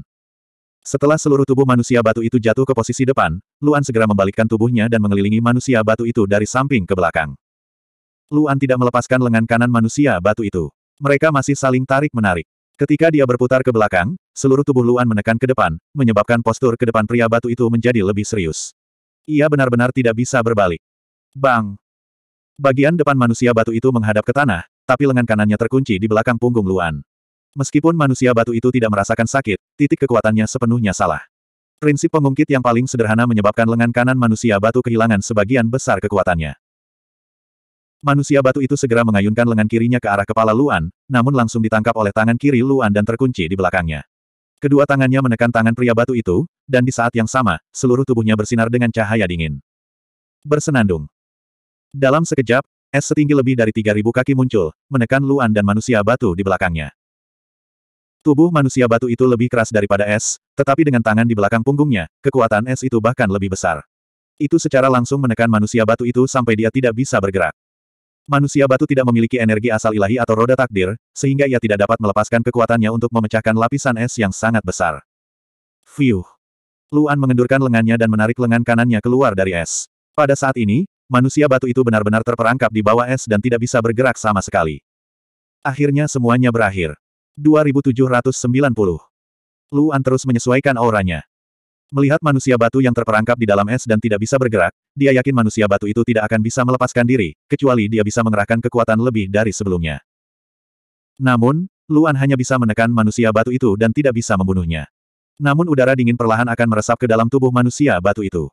Tidak peduli apakah manusia batu itu memiliki rasa ilahi atau tidak, manusia batu itu akan dibekukan oleh udara dingin. Saat itu, sekeras apa pun dia berusaha, dia tidak akan bisa bergerak. Suara mendesing. Dengan lompatan, Luan melompat keluar dari lapisan es setinggi 30.000 kaki dan berdiri dengan kokoh di atas lapisan es. Saat ini, kekuatannya tersisa kurang dari 30 persen. Dia sudah lama tidak merasa lelah. Manusia batu itu benar-benar memberikan banyak tekanan padanya. Dia belum pernah menghadapi musuh seperti itu sebelumnya. Pada saat yang sama, dia memikirkan atribut logam pamungkas dari klan Hachiko, yang memiliki pertahanan target tunggal terkuat. Apakah ini akan sekuat dan sesulit ini? Akankah api suci Deep Ice dan surga kesembilan miliknya efektif melawannya? Namun, Sejak dia ada di sini, Luan tidak membiarkan dirinya berpikir terlalu banyak. Dia menutup matanya sedikit dan menjernihkan semua pikiran lain di lautan kesadarannya. Dia tidak duduk bersila. Sebaliknya, dia beristirahat di tempat dan mencoba menyerap energi di sekitarnya untuk memulihkan kekuatannya yang hilang. Tidak buruk. Tiba-tiba, suara yang sangat membosankan meledak di udara. Rasanya seperti petir. Tubuh Luan bergetar hebat. Dia membuka matanya lebar-lebar dan melihat sekeliling dengan alis berkerut. Suara itu sepertinya datang dari segala arah. Tidak ada makhluk hidup di bawah matahari sembilan matahari yang terik. Fakta bahwa manusia batu tidak dapat dideteksi olehnya sudah cukup untuk menunjukkan betapa kuatnya dia. Ini bukanlah lawan yang bisa dia hadapi. Luan tidak ragu-ragu. Dia segera mengeluarkan ramuan dari cincin luar angkasanya dan menelannya. Segera, sejumlah besar Divine Key muncul di tubuhnya. Itu dengan cepat menghilangkan semua luka dan rasa sakitnya dan mengisi tubuhnya dengan energi. Setelah mendapatkan kembali kekuatannya, dia menarik napas dalam-dalam dan mencoba menenangkan dirinya. Siapa kamu? Luan berkata dengan nada yang tidak merendahkan atau sombong, mengapa kamu tidak menunjukkan dirimu dan berbicara denganku? Ledakan. Sebelum suaranya menghilang, lapisan es di bawah kaki Luan meledak. Luan terkejut. Dia dengan cepat melompat ke udara. Dia terbang hingga ketinggian 20 ribu kaki dan berdiri di sisi sembilan matahari yang terik. Gemuruh. Lapisan es yang benar-benar hancur menyebabkan pecahan es yang tak terhitung jumlahnya beterbangan ke segala arah. Manusia batu yang telah tertindas oleh lapisan es benar-benar bangkit. Di saat yang sama, pecahan kepala terbang kembali ke leher manusia batu dan dengan cepat berkumpul kembali ke tampilan aslinya. Ketika dia melihat pemandangan ini, tubuh Luan bergetar hebat, dan matanya yang dalam tidak bisa membantu tetapi menunjukkan sedikit pun keseriusan. Bagaimana ini bisa terjadi? Luan menunduk untuk melihat manusia batu di bawah. Setelah berdiri, manusia batu yang telah pulih sepenuhnya secara bertahap mengangkat kepalanya dan menatap Luan. Bang-bang. Detak jantung Luan tiba-tiba bertambah cepat, dan perasaan bahaya yang fatal muncul. Intuisinya memberitahunya bahwa kekuatan manusia batu bukanlah sesuatu yang bisa dia atasi. Kekuatannya hanya lelucon di depan manusia batu. Namun, meskipun tidak ada kesempatan sama sekali, Luan pasti tidak akan membiarkan kondisi pikirannya terpengaruh, dia juga tidak akan duduk dan menunggu kematian. Dia mengerutkan kening sambil menunduk dan berkata, kaulah yang berbicara. Ini aku. Manusia batu itu berbicara. Suara ini sama persis dengan suara sebelumnya, namun kali ini berasal dari tubuh manusia batu. Kerutan di dahi Luan semakin dalam, dan lautan kesadarannya dengan cepat memikirkan cara apa yang bisa dia gunakan untuk melarikan diri dari situasi berbahaya ini. Dibandingkan dengan curah pendapat Luan, manusia batu itu sangat tenang. Aku tidak akan membunuhmu. Manusia batu itu berbicara lagi, dan suaranya seperti guntur, menyebabkan seluruh ruangan bergetar. Tetapi saya tidak suka mengangkat kepala untuk berbicara. Mata Luan serius. Setelah sedikit ragu, dia berinisiatif untuk turun dan kembali ke tanah. Namun, dia tidak terlalu dekat dengan manusia batu itu, melainkan berdiri sepuluh kaki jauhnya. Manusia batu itu tidak peduli. Setelah Luan mendarat, dia pertama kali melihat ke arah sembilan matahari yang terbakar sebelum melihat ke arah Luan lagi. Siapa kamu? Luan bertanya lagi, dan bahkan menangkupkan tangannya, seolah-olah kedua belah pihak belum pernah mengalami pertempuran. Dia sangat sopan. Melihat ini, manusia batu itu sedikit terkejut. Aku tidak menyangka orang yang dia temukan akan begitu licin. Manusia batu itu tertawa seolah dia baru saja melihat sesuatu yang sangat lucu, dan berkata, kamu tidak memiliki tulang punggung seperti dia. Orang yang dia temukan. Lu An tercengang. Dia tidak peduli apa yang dikatakan manusia batu tentang dia, dan dia tidak menyangkal bahwa dia tidak memiliki tulang punggung. Dia langsung bertanya, siapa yang kamu bicarakan? Siapa lagi yang bisa melakukannya? Manusia batu itu tersenyum pada Luan dan berkata, aku sedang berbicara tentang orang yang memberimu api ini. Tubuh Luan bergetar hebat, dan dia langsung bertanya dengan penuh semangat, maksudmu tuanku? Oh, dia menganggapmu sebagai muridnya. Manusia batu itu tertegun, jelas sangat terkejut, tapi setelah memikirkannya, dia berkata, itu benar. Wajar jika mengambil seseorang yang ditemukan lebih dari sepuluh ribu tahun yang lalu sebagai muridnya. Dia pernah berkata bahwa dia tidak akan pernah menerima murid mana pun, tetapi dia melakukannya. Dan muridmu memiliki banyak kekuatan di tubuhnya. Mata Luan membelalak. Bahkan dia tidak bisa tetap tenang. Kata-kata pria batu itu benar-benar di luar dugaannya. Dia segera menangkupkan tangannya dan berkata, siapa kamu? Apa hubunganmu dengan tuanku? Siapa tuanku? Mendengar pertanyaan Luan dan melihat ekspresi cemas Luan, manusia batu itu sama sekali tidak cemas. Sebaliknya, dia berbicara semakin lambat, seolah-olah dia sengaja membuat marah Luan. Faktanya adalah dia baru saja kalah dalam pertempuran, dan sekarang dia agak tidak bahagia. Karena tuanmu tidak memberitahumu siapa dia, tentu saja aku tidak akan mengatakan apa-apa. Manusia batu itu berbicara dengan sangat lambat, seolah-olah dia sedang melafalkan, sedangkan aku. Aku adalah teman lama tuanmu. Teman lama. Luan mengepalkan tangannya. Akhirnya, dia bertemu seseorang yang berhubungan dengan tuannya. Selama ini, identitas majikannya masih menjadi misteri. Setiap orang yang mengetahui keberadaan tuannya tidak dapat menemukan petunjuk apa pun tentang tuannya dari uraiannya, apalagi dapat mengetahui identitas tuannya. Bahkan Fuyu pun sama. Kekuatan Fuyu sudah cukup kuat. Luan tidak tahu seberapa kuat dia untuk mengetahui identitas tuannya. Mungkinkah dia harus cukup kuat untuk mengetahuinya? Sekarang setelah dia bertemu seseorang yang berhubungan dengan tuannya, Luan merasa bersemangat, bahkan jika pihak lain menolak untuk mengatakan apa pun.